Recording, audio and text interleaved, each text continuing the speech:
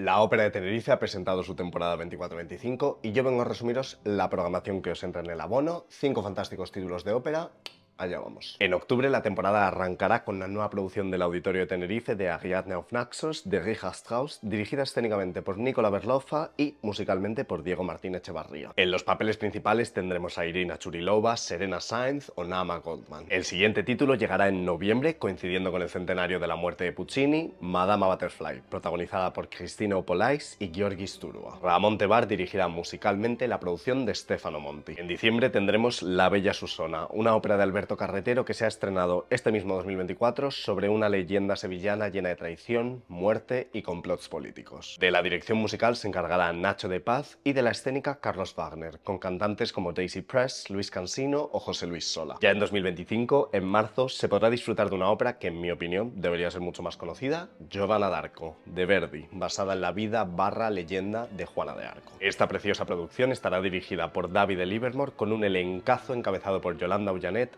Aira Hernández y Juan Jesús Rodríguez. Finalmente, en junio, la última función del abono será una versión reducida para coro y orquesta de Parsifal, de Wagner, dirigida musicalmente por Pedro Halfter. Los abonos ya están a la venta, tanto el abono Club Ópera como el abono Club Ópera Joven para menores de 30. Abonarte tiene ventajas más allá de las entradas, como una copa gratis los intermedios, descuentos en billetes de avión o encuentros con los equipos artísticos. Si queréis más información, podéis ir ya a la web del Auditorio de Tenerife para curiosear el resto de beneficios y ver toda la programación de lo que se viene este 24-25.